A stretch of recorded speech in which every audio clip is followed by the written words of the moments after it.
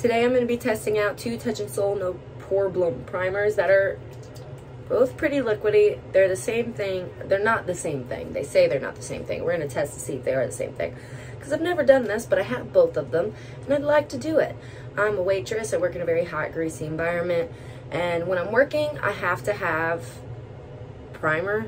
I don't have to have primer when I'm not working, but my makeup kind of doesn't last great at work. So we have the No Poreblem Priming Water with Rosa Demencia Flower, Water, and Oil. And then the No Poreblem Prime Essence with Cadula Affinis Flower Extract. I'm saying both of those things very wrong, I'm sure. But this is what they look like. On this side, I'm going to use this, and on this side, I'm going to use this, and I'm going to do check-ins throughout the day to see if one lasts better than the other. And because I only put makeup in the center, basically the center of my face, I don't really need a lot.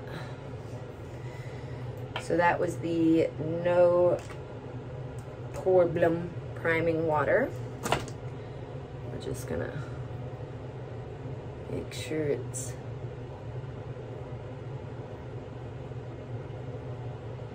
nice and in there. And then I'm going to be using the No Poreblem Prime Essence with a different finger on the other side. Okay, so the priming essence, mm, I don't know, maybe is a little thicker. I mean, thick is a strong word here. It's very liquidy and watery.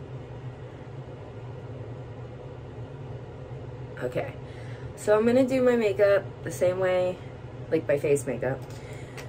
The same way I always do my face makeup with the same powder and the same concealer and everything. So it's it's a fair test because if you start testing too many things at once, it's not gonna work out for you.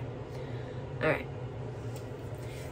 So I will be back after I put the makeup on to tell you how it feels. Um, right now, they, they pretty much feel the same. I mean, and they look pretty much the same. They both kind of give you a glow. They both feel the same on the skin. So I've got my sunbeam on. I always put that on because I feel like it helps my skin. Also, it really kind of helps hide the bags under my eyes that I get from being a mother.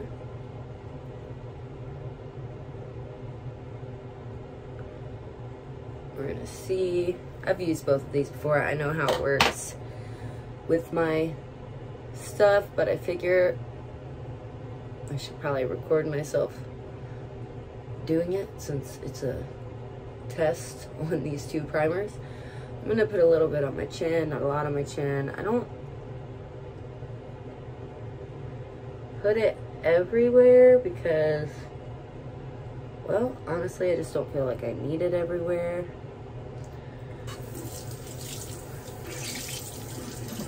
Crazy. Okay.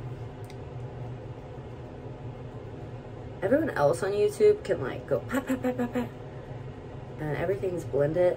I don't have that either skill or editing software. I don't know which one it is. It's probably skill. I'm not talking shit. I'm just saying. Okay. Pat, pat, pat, pat, I always like to take whatever's left on my sponge and kind of go up the bridge of my nose because I contour my nose with the light instead of using dark because I have freckles and it always ends up looking like crooked. No matter what I do, it looks crooked. I've had other people who are really amazing at makeup do my makeup. It still looks crooked. We have to fix it. It never looks the way I want it to look. And it's probably because I don't wear super high coverage makeup everywhere on my face. So, you know, it's fine. I'm going to take this powder, which is the CoverGirl Advanced Radiance Powder. It is my favorite powder of all time. Okay, we're going to stretch the eyes down help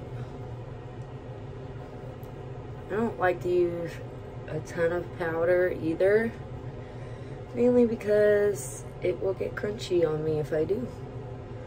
Okay, so I only used to put the primer in the center of my face because the outside of my face, one, I have like, I have a little bit of a natural shadow there. So it's not like a, something that I really need to keep on because there's always like a natural shadow. But also because I just don't want to have it everywhere. I want to have it in a controlled setting where I can kind of keep an eye on it. All right, I'll be back when I'm finished. Okay, so here it is. I think it looks pretty good. This is the final look. I will be back to check in on my break at work. It has been a crazy day at work today, but this is how the makeup is holding up.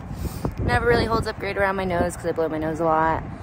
But, I mean, it's not crunchy. It looks fine. Both sides look equally the same, I feel. So I will be back later to do a final check-in. This is the final check-in of the day. I will say that they look basically the same. I, I do think that the Prime Essence lasted just like the ittiest bittiest little bit better. Little less creasy on this side than this side but honestly, like nothing major. Like I, I am legitimately staring to see. But it held up, both sides held up pretty well through my work. Um, I didn't look crunchy or anything. So, uh, yeah, they're, they're pretty much the same. But the Prime Essence, I think, actually did hold up just a tiny bit better. So, in my opinion, if you're deciding between the two, I would go with this one. I don't know what skin type these are supposed to be for. If I think it says all skin types on both. But this one actually held up just like the ittiest bittiest bit better. So I think either one would be fine to buy. This one would be the one that I would buy again. But I'm going to test it out a little more you know, like when I'm not working, just to see if, like, just to make sure, and I'll update you in another video or something, but thus far, the priming essence, the prime essence, was the winner. So, yeah, hope you guys enjoyed this video, and I'll see you guys again next time. Oh. I have to say, please like, comment, and subscribe. Comment down below if you have an idea for a video that you think I could do or something you want to see. All right, thanks.